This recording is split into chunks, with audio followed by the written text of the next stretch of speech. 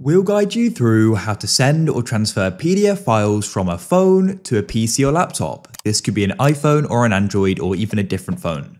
If you find this useful, then consider subscribing and liking the video. So what you need to do is come out of this and you need to go and open up WhatsApp. Now, all you need to do is go to the top right or the bottom right on an Android and click on the plus. And what you need to do is go and select yourself. It will go and say message yourself then go to the bottom left and click on the plus, and you can then select document and click on choose from files.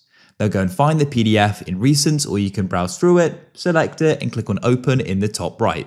And what you can then do is go to the bottom right and click on the send button. Now what you need to do is go and open up your web browser. This could be Chrome or whatever you like to use. And you need to go and search for WhatsApp web. So I'll type that in like so. Make sure you come to the site the first time you come here, you'll need to go and sync it with your phone. There'll be a QR code which you need to go and scan, but WhatsApp will guide you through it. Then after you've gone and synced it, you'll see your chats on the left. Find the one with yourself, and there's the PDF.